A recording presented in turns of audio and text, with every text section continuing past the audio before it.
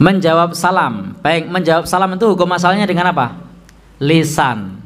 Jadi boleh ketika ada orang mengucapkan assalamualaikum di medsos kita jawab waalaikumsalam. Kita sudah jawab salam belum? Sudah. Nah, jadi menjawab salam itu intinya adalah bukan di apa namanya uh, tulisannya, tetapi di uh, lisannya.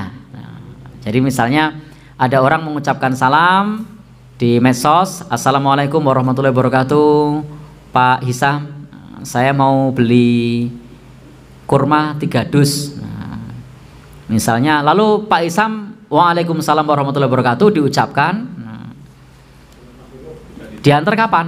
Nah, jawabannya langsung diantar kapan? Nah, jadi boleh enggak ya boleh karena memang sudah dijawab. Intinya kan doanya hanya saja memang ini di tempat kita di dalam bahasa komunikasi itu kemudian kalau jawabannya seperti itu menimbulkan prasangka. Kok ora dijawab? Nah kok tidak dijawab?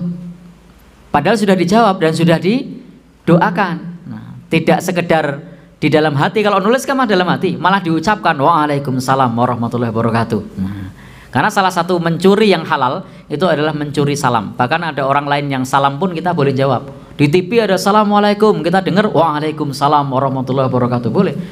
Tetangga ada yang Assalamualaikum, kita Waalaikumsalam aja seru-seru, ngisruh nanti. Jadi ya cukup Waalaikumsalam warahmatullahi wabarakatuh. Boleh enggak ya? Boleh. Termasuk tadi dijawab Waalaikumsalam warahmatullahi wabarakatuh lalu dijawab apa pesannya. Boleh enggak? Boleh. Tapi ini menimbulkan prasangka. Maka untuk menghindari prasangka silahkan dijawab Waalaikumsalam warahmatullahi wabarakatuh. Tetapi tetap kalau sudah dijawab dengan lisan itu sudah sah. Wallahu alam bisawab.